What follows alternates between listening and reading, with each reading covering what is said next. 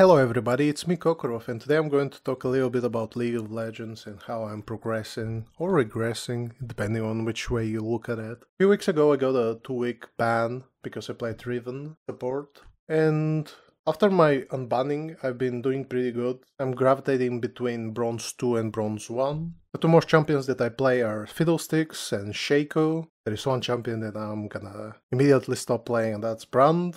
We'll talk about that later.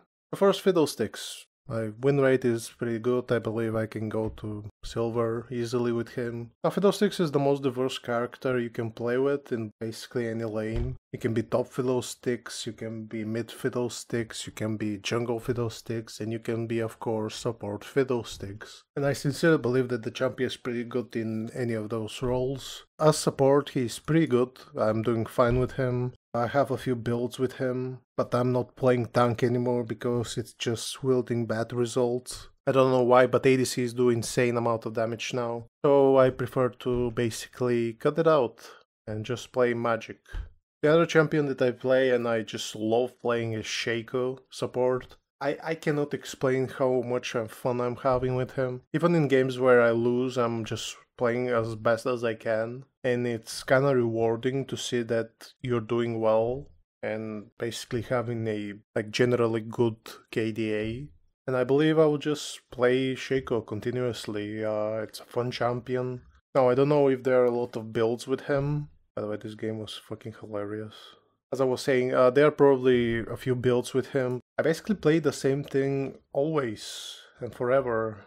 Same build, same build, same build. Yeah, fun champion. I love playing him. I'll continue to play him. He does a lot of damage late game. Early game he has no mana, so you basically have to wait until you have 350 gold. Then recall, get the mana meme, come back and basically wait until you have enough money for Lost Chapter. Fun champion, fun to play, fun, fun, fun, fun. And of course we have Brand. Now Brand uh, is bland. I, I don't care about Brand. I don't want to play Brand anymore. Like every game I play Brand, it's just, it's boring me. It's a boring chunk for me. Uh, there are a lot of people who play him who are having fun, and that's great. I am not one of those people, and that's fine. Uh, I have like literally, like, look at this. Look at this. It's not my champion anymore. I don't like playing him. He bores me. I don't know what builds to go with him. It doesn't matter. Ironically, he's the only champion that is technically a support champion that I play, and I'm dropping him for Fiddlesticks and Shaco. I played uh, two games with Nautilus and it was pain.